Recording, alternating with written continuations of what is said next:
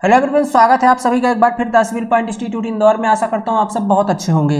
आपने थंबनेल के अंदर देख लिया, हम डिस्कस करने वाले हैं आज सीजी व्यापम के बारे में, ठीक है? सीजी व्यापम सब इंजीनियर की आप सब तैयारी कर रहे हैं। आपको पता है, वैकेंसी बहुत जल्द बस रिलीज़ होने वाली है, पोस्ट की अनाउंसमेंट भी हो चुकी अभी बात करता हूँ। ठीक है? इससे पहले मैंने एक वीडियो बनाया था आपका, काफ़ी अच्छा रिस्पॉन्स था, आप लोगों ने कहा कि सर, इसके रिगार्डिंग कुछ और स्टडी मटेरियल वगैरह हमें प्रोवाइड करिए। आज सारी चीज़ों के बारे में जानकारी देंगे, क्या आपको पढ़ना चाहिए, कैसे इसका एग्ज़ाम पैटर्न रहता है, कैसे सिलेबस रहता है और कहाँ से डायरेक्टली क्वेश्चन आपको एग्ज़ाम पे देखने को मिलते हैं, ठीक है? वो कौन सी बुक है जिनको आप अगर फॉलो करते हैं तो आप इस निश्चित ही इस एग्ज़ाम को क्लियर कर सकते हैं, ठीक है? वो कौन सी स्टेप होंगे ओके तो स्टार्ट करते हैं वीडियो को। सबसे पहले तो आपको स्क्रीन पर दिखाई दे रहा होगा सी जी व्यापम सब इंजीनियर दो हज़ार बाईस का, ठीक है? जो वैकेंसी आने वाली है, जिसका अनाउंसमेंट किया गया था कब? इसका अनाउंसमेंट किया गया था, ठीक है? किस विभाग के अंदर आने वाली, देख लीजिए, जल संसाधन विभाग पब्लिक ठीक है वाटर रिसोर्स डिपार्टमेंट के अंदर, जल संसाधन विभाग के अंदर, कब की वैकेंसी जो ये अनाउंसमेंट था, ये इन विभाग की तरफ़ से था, कब हुआ था ये?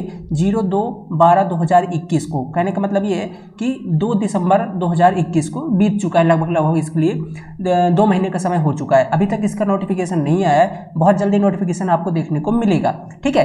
किस पोस्ट के लिए है? ठीक है तो बात कर लेते हैं, देखिए, ये पहले तो पहली चीज़ तो ये छत्तीसगढ़ मध्य प्रदेश सॉरी छत्तीसगढ़ शासन की तरफ़ से है मतलब पूरी तरह से ऑफिशियल नोटिस है, ठीक है? और इसके अंदर कही गई थी बात प्रमुख अभियंता के लिए, ठीक है? प्रमुख अभियंता के लिए जल संसाधन विभाग में, ठीक है? जल संसाधन विभाग की तरफ़ से ये अर्जी लिखी गई थी किनको कितने इंजीनियर्स की भर्ती करनी है इस बार, ये सारी चीज़ें इसके अंदर बताई गई है। देखिए, विषय में देखिए, जल संसाधन विभाग अंतर्गत सीधी भर्ती, व्यावसायिक परीक्षा मंडल रायपुर से भरे जाने रिक्त पदों पर बावत, ठीक है? तो जल संसाधन विभाग में भरे जाने के लिए, ठीक है? उन्होंने अपने एप्लीकेशन जो है तो भेजा हुआ था। ठीक है, अब देखिए इसमें कितने पदों की डिमांड थी इनकी।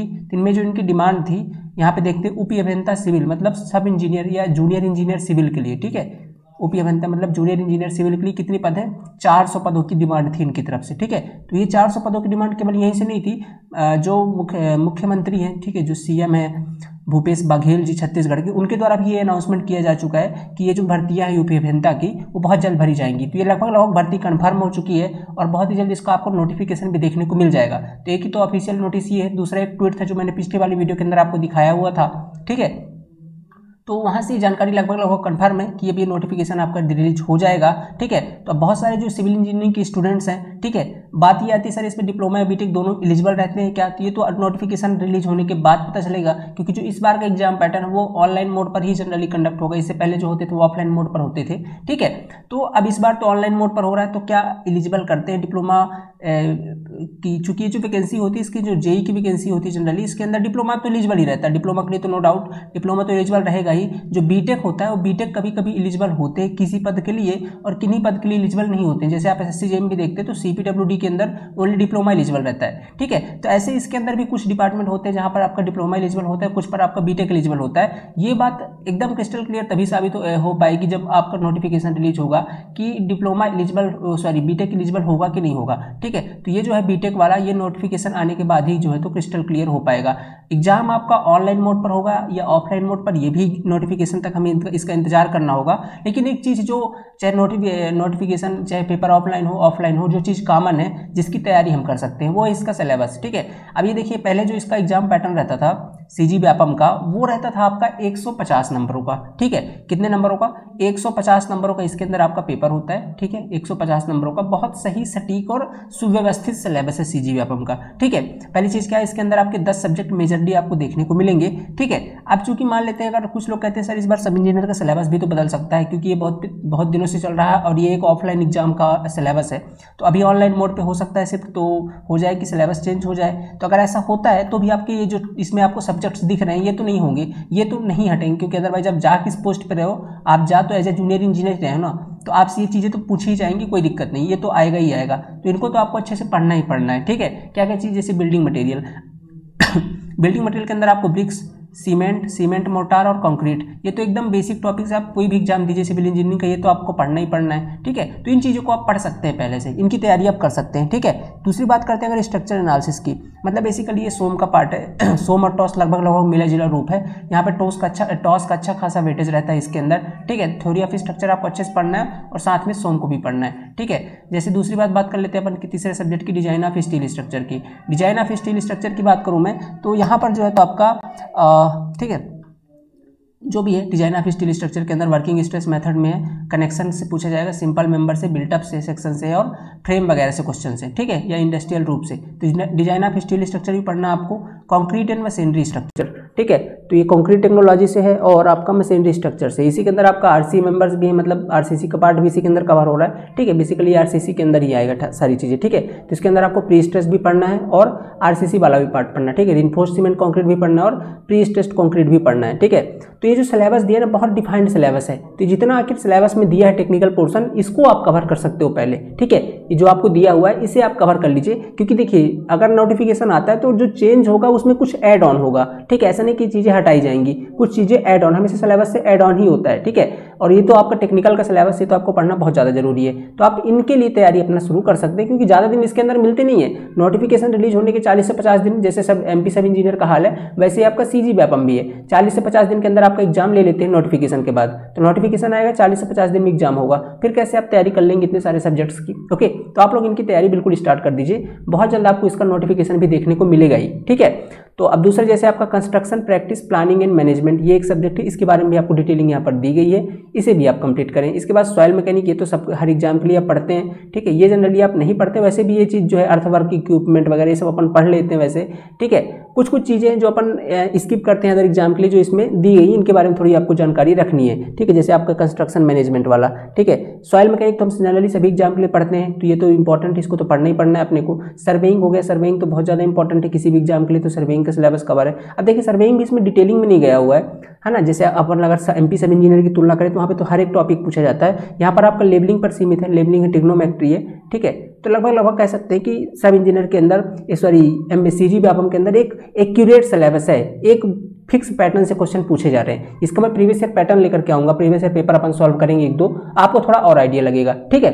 वो अपन और सॉल्व करेंगे। इसके बाद बात करते हैं पर ट्रांसपोर्टेशन तो हाईवे इंजीनियरिंग भी यहाँ से। ट्रांसपोर्टेशन में मुख्य आपका हाईवे ही है। ठीक है? रेलवे इंजीनियरिंग इसके अंदर नहीं पूछी जाती है। ठीक है? देख लीजिए ज्योमेट्रिक डिज़ाइन है। हॉर्जेंटल एंड वर्टिकल कब्स है ग्रेड सेपरेशन है। मटेरियल एंड कंस्ट्रक्शन मेथड्स है।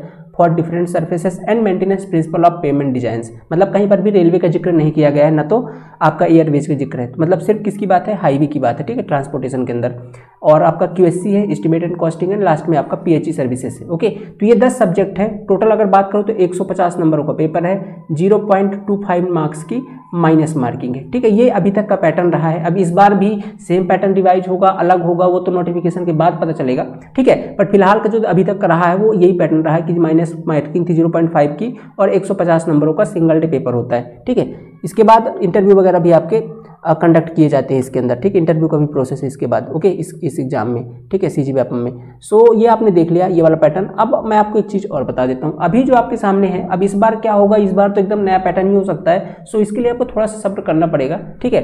जो अभी आपको नोटिफिकेशन का थोड़ा सा वेट करना पड़ेगा। नोटिफिकेशन आ जाए देन इसके बाद अपन डिटेल में लेकर के आएँगे कि क्या और इस बार चेंजेस किए गए हैं। पर फ़िलहाल आप ये सिलेबस अपना कंप्लीट कर सकते हैं, क्योंकि ये इंपॉर्टेंट पार्ट है। ये कंप्लीट रहेगा तो अगर थोड़ी बहुत चेंजेज भी होता है, कुछ एड ऑन होते हैं तो अपन उसको कवर कर लेंगे लास्ट टाइम पे। उसको आप कवर कर सकते हो प्रैक्टिस कर सकते हो। अब बात आती है, सर बुक्स कौन सी पढ़नी है? देखिए, इसका जो मेन एग्ज़ाम पैटर्न रहता है ना, वो आप दो बुक्स फॉलो करिए, वो मोर देन सफिशियंट सबसे पहली चीज़ तो इसके कुछ प्रीवियस ईयर पेपर्स ठीक है?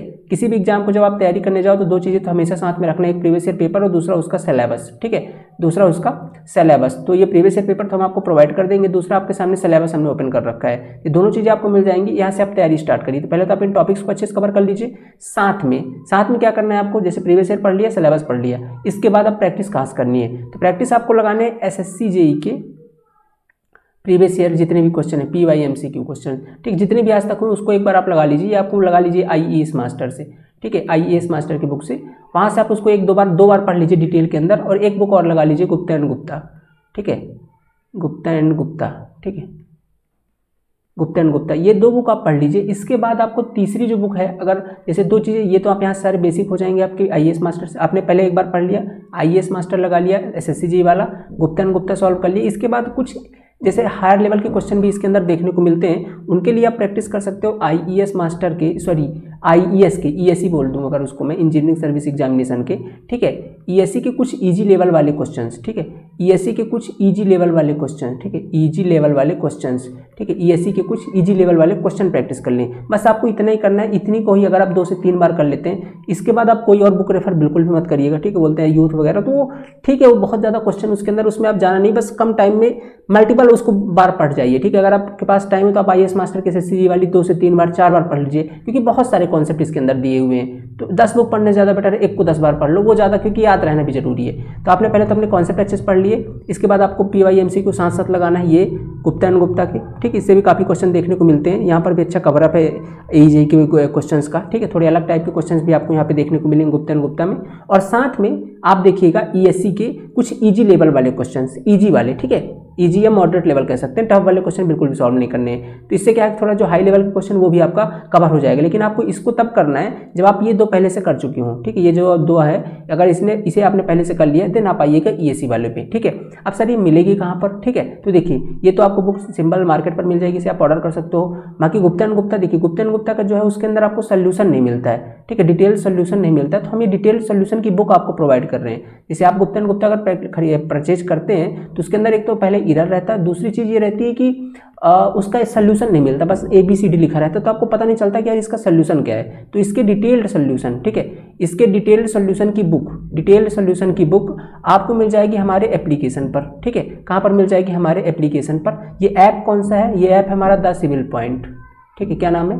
द सिविल पॉइंट जिस नंबर जिस नाम से आप चैनल देख रहे हैं इसी नाम से हमारा द सिविल पॉइंट का एप्लीकेशन है। इसे आपको डाउनलोड करना है गूगल प्ले स्टोर से। और वहाँ पर आपको गुप्ता एंड गुप्ता जा करके सर्च करेंगे तो आपको एक बुक मिल जाएगी हमारी पीडीएफ फॉर्म पर। उसे आप पढ़ सकते हैं। वहाँ पर इसे गुप्ता एंड गुप्ता का डिटेल सोल्यूशन मिल जाएगा, जो कि आपके लिए बहुत ज़्यादा इंपॉर्टेंट साबित होगा किसके लिए? ये सी जी व्यापम सब इंजीनियर के लिए। तो ये तो आप एस एस सी जी की बुक पढ़ लें, इसके बाद आप गुप्तन गुप्ता लगाएँ और फिर जो आपका ये ई एस के ईजी लेवल वाले क्वेश्चन है, इसको आपको लगाने हैं, ठीक है? इसको आपको लगाने हैं। अब इसकी बुक कहाँ से मिलेगी? तो इसके लिए हम आपके लिए, जब अब हम आपको बाद में प्रोवाइड करेंगे, आपको बताएँगे कहाँ से मिलेगी। बाकी फ़िलहाल अगर आपके पास ई एस सी के क्वेश्चन तो आपको वहाँ से थोड़ा सा सेपरेट करना पड़ेगा। ठीक है सेपरेट करना पड़ेगा बट हम आपके लिए इसके लिए कुछ प्लान कर रहे हैं तो आपकी ये भी मेहनत बच जाएगी। ठीक है तो ये तो आपको ये तो आपके स्टेप्स हो गए बट अभी आती सर कि जो हमने अगर अगर तैयारी ही नहीं की तो हमको ये बेसिक कॉन्सेप्ट कहाँ से पढ़ने क्या कोई कोर्स अवेलेबल है? ऐसे बहुत सारे लोग की डिमांड आती है। तो मैंने बता दिया कि आज हमने अपना सी जी व्यापम का 2022 का कंप्लीट कोर्स लॉन्च कर रहे हैं। ठीक है, आज हम आपके लिए कंप्लीट कोर्स लॉन्च कर रहे हैं जिसके अंदर आपको क्या क्या चीज़ें हम देने वाले हैं, ठीक है? तो पहली चीज़ तो ये आएगी सर कि ये कोर्स ऑनलाइन होगा कि ऑफलाइन होगा? देखिए, ऑफलाइन कुछ भी नहीं, क्योंकि इस टाइम पे कोरोना फिर से एक्टिव आ चुका है। तो हमारे सारे कोर्सेस आपके ऑनलाइन होंगे। ऑनलाइन इन द सेंस ये कि आप घर बैठ करके मोबाइल के थ्रू ठीक है, हमारे सारे वीडियोज़ को आप देख पाएँगे, ठीक है? तो ऑनलाइन मोड पर होगा। कहाँ पर चलेगा ये? तो चलेगा हमारे ऐप के अंदर। ऐप बोले तो एंड्रॉयड एप्लीकेशन पर। ये ऐप आपको कहाँ पर इंस्टॉल करना है? ये आपको जा करके गूगल प्ले स्टोर से इंस्टॉल करना है। आप ये पूरा सर्च करेंगे द सिविल पॉइंट ठीक है? और उसे आप इंस्टॉल कर लेंगे, ठीक है? कहाँ से? गूगल प्ले स्टोर से, ठीक है? जी प्ले स्टोर से। गूगल प्ले स्टोर से आप इसे इंस्टॉल करिए। इंस्टॉल करने के बाद आपको जाना कहाँ पर है, ठीक है? आपको जाना है नीचे स्टोर के सेक्शन पे, ठीक है? उसमें काफ़ी सारे ऑप्शंस रहते हैं, जैसे सबसे नीचे जाएँगे तो होम लिखा रहेगा, फिर बैच लिखा रहेगा, फिर स्टोर लिखा रहेगा। तो आपको इसी स्टोर वाले पे ऑप्शन पे क्लिक करना है। ये स्टोर वाला ऑप्शन होगा। यहाँ पे आप क्लिक करेंगे तो ऊपर आपको कई सारे बैचेस दिख जाएँगे और ऊपर एक सर्च बार भी आएगा। इस सर्च बार में आप जाकर के सी जी व्यापम डाल देंगे तो आपको सी जी व्यापम का कोर्स दिख जाएगा, ठीक है? तो आप उसे इंस्टॉल कर सकते उसे परचेज कर सकते हैं। बहुत मिनिमम फ़ीस के अंदर रखा है हमने, ठीक है? जिसके अंदर हम आपको देने क्या क्या वाले हैं, ये चीज़ मैं आपको एक्सप्लेन कर देता हूँ थोड़ा सा ठीक है? तो आपको कहाँ से इसको डाउनलोड करना है? आप समझ गए कि आपको ये जो द सिविल पॉइंट इसे इंस्टॉल करना है गूगल प्ले स्टोर से, और इसके अंदर हम आपको क्या देने वाले हैं? तो इसके अंदर आपका सबसे पहले तो कंप्लीट वीडियो कोर्स होगा। वीडियो कोर्स मतलब जो आपने दस सब्जेक्ट देखे हैं अभी तक, ठीक है? अगर इसके बाद मान लीजिए इनकेस कुछ एड ऑन होते हैं सिलेबस के अंदर तो वो हम डेफिनेटली इसके अंदर आपको ऐड करके पढ़ाएँगे। बट फ़िलहाल जो सिलेबस है, उसके हिसाब से अपन टेक्निकल तो पढ़ना ही है। तो टेक्निकल के कंप्लीट वीडियो लेक्चर आपको मिल जाएँगे हमारी इस इसके अंदर। तो कंप्लीट तो वीडियो लेक्चर पहली चीज़ है, ठीक है? कंप्लीट वीडियो लेक्चर्स हैं। अब वीडियो लेक्चर के बाद जो दूसरा स्टेप है कंप्लीट नोट्स हैं। जैसे आप मान लीजिए पढ़ते हैं आपको, आप जॉब कर रहे हैं, आपको समय नहीं मिल रहा है नोट्स बनाने का तो हम इसके अंदर कंप्लीट आपको नोट्स भी प्रोवाइड करते हैं। बस आप अपने शॉर्ट नोट्स बनाएँगे। क्या बनाएँगे आप अपने? आप अपने केवल शॉर्ट नोट्स बनाएँगे, बाकी जो डिटेल्ड नोट्स हैं, ये डिटेल्ड नोट्स हम ही आपको प्रोवाइड कर देते हैं, ठीक है? डिटेल्ड नोट्स हम आपको साथ में प्रोवाइड करते हैं हर सब्जेक्ट का, ठीक है? तो आप जैसे लेक्चर देखते जाएँगे, आपको नोट्स आपको मिलते जाएँगे, ठीक है? आपको बस अपना शॉर्ट नोट्स बनाना है और रिवीजन और प्रैक्टिस पर फोकस करना है। तो पहली चीज़ तो कंप्लीट वीडियो लेक्चर दूसरा आपके नोट्स तीसरी बात करते हैं कि टेस्ट सीरीज़, ठीक है? टेस्ट सीरीज़ भी एक इंपॉर्टेंट फैक्टर होती है। किसी भी एग्ज़ाम के लिए आप वहाँ से टाइमिंग मैच कर पाते हैं तो टेस्ट सीरीज़ भी आपको हम प्रोवाइड करेंगे, ठीक है? टेस्ट सीरीज़ भी आपको इसी बैच के अंदर मिलेगी, इसके लिए आपको एक्स्ट्रा बाद में पे नहीं करना पड़ेगा, ठीक है? तो जो आपको आपको इसी बैच के अंदर आपको क्या मिलेगी? टेस्ट सीरीज़ भी मिलने वाली है, ओके? फिर बात करते हैं, अगर मान लीजिए आप पढ़ रहे हैं, आपको कहीं पर भी कोई डाउट आ गया तो आप अपने डाउट कैसे क्लियर करेंगे ऑनलाइन क्लास में? तो फुल डाउट सपोर्ट रहता है हमारी टीम का आपके पास। फुल डाउट सपोर्ट का मतलब एक आपको कहीं पर भी डाउट आया तो आपके पास तीन ऑप्शन रहेंगे। एक तो आप चैट के थ्रू पूछ सकते हैं, वो चैट का ऑप्शन ऐप पर अवेलेबल है। दूसरा आप व्हाट्सअप करके पूछ सकते हैं व्हाट्सअप पे मैसेज करके या तीसरा आप कॉल करके। तो तीनों पास ऑप्शन आपके पास अवेलेबल है। आपके जहाँ पे डाउट क्लियर हो अगर आपके डाउट बहुत अधिक हैं, अच्छे कॉन्सेप्चुअल हैं, ठीक है, जो फ़ोन से सॉल्व नहीं हो रहे हैं तो उसके लिए हम आपको वीडियो प्रोवाइड करेंगे वीडियो बना करके। तो इस तरीके से आपके डाउट सॉल्व हो जाएँगे, ठीक है? और इसके अंदर सर हम क्या करवाने वाले हैं? इसके अंदर हम करवाने वाले हैं आपको पाँच हज़ार प्लस, पाँच हज़ार प्लस ही मानिए इसको, लगभग एम ठीक है? ये एम कौन से होंगे? ये इंपॉर्टेंट एम होंगे, या जिसे अपन एक्सपेक्टेड एम कहते हैं, ठीक है? एक्सपेक्टेड क्वेश्चंस कहते हैं एक्सपेक्टेड एम कहते हैं, जो कि आपके पेपर में पूछे जा सकते हैं। इनको अपन करवाने वाले हैं इसी बैच के अंदर, ठीक है? सो आपको एक कंप्लीट कवरअप मिलेगा, और साथ में आपको क्या करना है? जो मैंने तीन बुक बताई ना, ठीक है? साथ में जो मैंने आपको तीन बुक बताई है, वो तीन बुक ले लेनी है साथ में। पहले तो एस एस की प्रीवियस ईयर ठीक है? दूसरी आपको गुप्ता एंड गुप्ता की, वो आप हमारे ऐप से ही ले लेंगे।